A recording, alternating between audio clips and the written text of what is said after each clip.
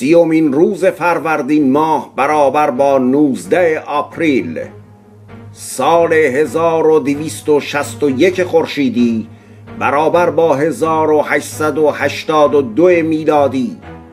درگذشت چارلز داروین طبیعیدان انگلیسی.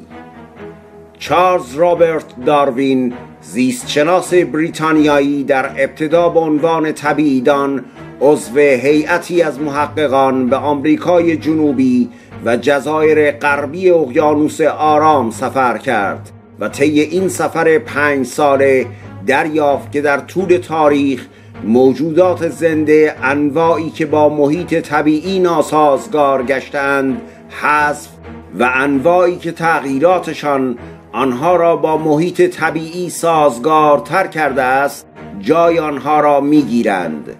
داروین این پدیده را انتخاب طبیعی نامید. وی سپس مخفیانه و در اوقات فراغت روی نظریه انقلابیش یا همان نظریه تکامل کار کرد ولی از آن بیم داشت که با علنی کردن این تحقیقات از سوی گروه های تند رو به کفگویی متهم شود. بنابراین کوشید با انجام دادن آزمایش های فراوان روی گیاهان و جانوران و استفاده از تجربیات پرورش دهندگان کبوتر و خوک شواهد کافی و علمی برای نظریهش فراهم آورد. وی سرانجام نتیجه 20 سال مطالعهش را در کتاب اصل انواع منتشر نمود.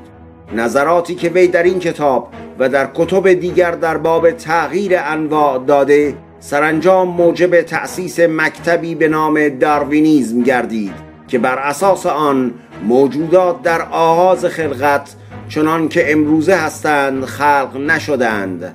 آنها در ابتدا بسیار پست و ساده بودند اما طی میلیون ها سال طبق قوانین طبیعی به سوی کمال رفتند.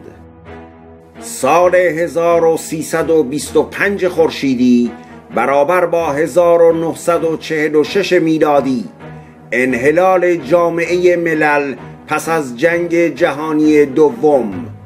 جامعه ملل نخستین سازمان بین المللی بود که بعد از پایان جنگ جهانی اول به پیشنهاد وودرو ویلسون رئیس جمهور وقت آمریکا و فرمان پاپ شکل گرفت.